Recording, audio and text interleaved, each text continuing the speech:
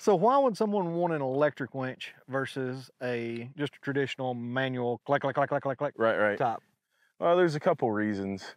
Um, if you think about lakes that fluctuate the water level Mhm. between summer, fall, winter, spring. Yeah, like a lot of ours do in Tennessee. Yes, exactly.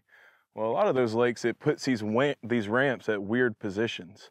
And so when you're actually launching your boat, it can make it more difficult to get it on the trailer because Okay. it may be more vertical at Yeah. certain times of the year. So what it'll allow you to do is to put your trailer in the water a little bit less and allow you to use the guides of your trailer and winch it on up on there a lot easier.